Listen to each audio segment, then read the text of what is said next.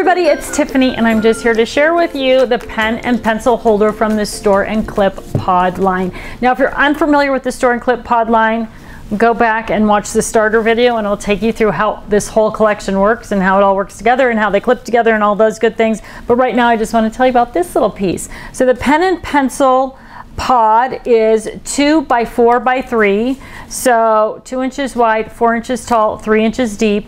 It has, it can be open in the center, but it also comes with two little dividers that secure on the inside with hook and loop fabric. So you can just insert it in and then lock it down and you can separate this diagonally or you can use both of them to separate it um, in two different, or to make three different sections. So you get two of the divider panels with the pen and pencil store and clip pod.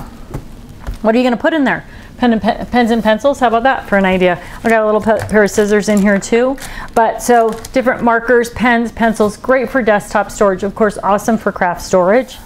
This one I just used um, for all of my Cricut tools, my pokey tools or whatever. So those are all in there. Again, I use the two dividers to separate the things out. So it's a perfect little accessory for all kinds of goodies. Now remember, you can buy each of these components separately, so depending on what you need to store, and then you can take the clips and clip them together to create whatever size or shape configuration is gonna fit in your workspace. So if you're trying to create something that maybe wraps around a corner of your workspace or fills a little hole on your desk, now I've got this in that configuration, right? And I can continue to add on to it like I said, if you haven't watched the first video that kind of goes through that whole process, take a peek at that and it will show you how to link all of these together to create the perfect organizer for your desktop, craft space, bathroom, garage, wherever you need to use these. So the pen and pencil holder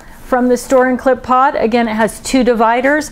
It is two by four by three, and it's gonna work for a variety of organizational uses in your craft room, in your garage, in your kitchen, in your bathroom even.